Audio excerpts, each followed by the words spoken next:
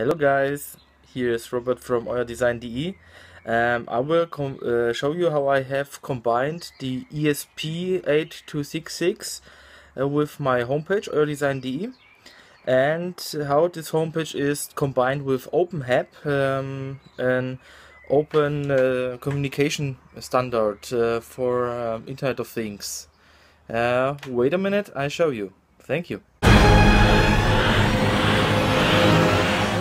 This is my setup.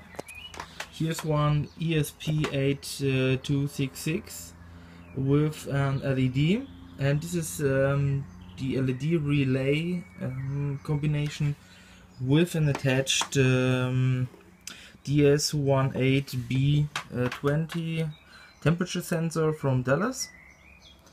And uh, it sends data to uh, the homepage also it sends data to OpenHAB.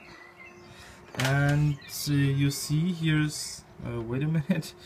Uh, here's the homepage. I try with finger. That's no better.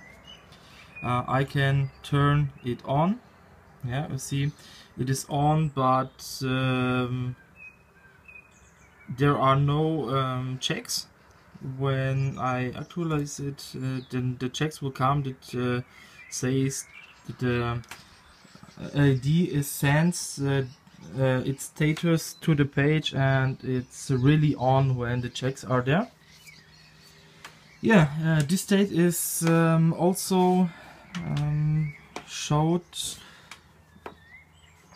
uh, at uh, the OpenHAB. I had configured the OpenHAB. Um, you see, um, normal OpenHAB with our flat that's the bedroom uh, option. I have uh, combined this with the, um, bedroom. And you see uh, it has 25.6 degrees Celsius. It sends data to the OpenHAB through my website. And now you see the uh, status of the light, it's on. Now I can turn it off it takes a minute. Um, we see if there is uh, the information uh, on the side. No, not yet. Yet, yet. Now it's on, and it uh, takes five seconds because it's reloading its status uh, every five seconds. Yeah, you see it's off, so I can turn it on the homepage on. And also the status when I reload this page gets to on and the LED gets on.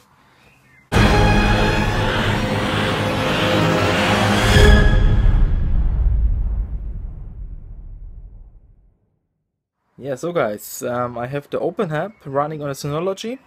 It's configured um, to our flat with um, bedroom, kitchen, um, and some other rooms.